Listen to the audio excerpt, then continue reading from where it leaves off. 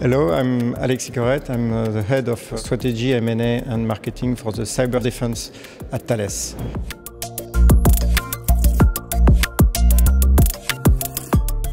We've identified that managing the balance between having a, a large bunch of technologies to bring best, best of breed capabilities or managing one single platform is something that is not easy within the ecosystem. You have to find a way to deliver the cybersecurity you need, leveraging the right uh, capabilities, skills, focusing the, your skills on, on the right key spots and leveraging some, some partners uh, where they will uh, focus their capabilities in implementing, testing and leveraging uh, these technologies. The second topics we, we have addressed was how to onboard startups and scale-ups within the field. Everybody uh, mentioned the fact that leveraging the innovation capabilities of startup and, and, and scale-ups are, are, are, is something very important. But when it comes to go to production and to support sometimes very long life cycle uh, capabilities like uh, plants and, and, factories, it's very difficult to onboard such companies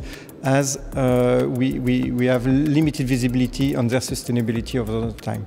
And that's where uh, working with uh, industrial companies makes sense as they can support and provide some guarantees on, on, on the fact they are sustainable over the time. And at last, what we uh, addressed was the cybersecurity budgets. It's always a question, uh, are you able to onboard all the technologies, capabilities, services you need to protect your assets?